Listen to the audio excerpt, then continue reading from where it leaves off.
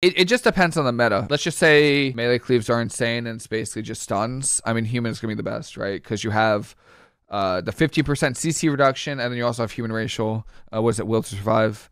Um, but if Affliction Warlock, Feral Druid, Assassination Rogue is really good, I'm thinking Dark Iron Dwarf or Dwarf is gonna be insane. Like those two are eh, really, really good versus that. If they add another trinket that's dispellable, those are also really good.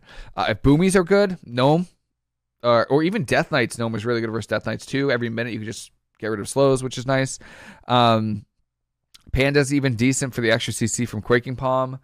Uh, on Horde, I believe the fi- so people are saying the 15% CC reduction stacks with Orc racial, so Orc might be best. Maybe versus R if R obviously RMP is gonna be insane, but so like if RMP is just absolutely cracked, maybe Orc is best, and then Undead if like Warlocks and Priests are best. I think Undead is gonna be good.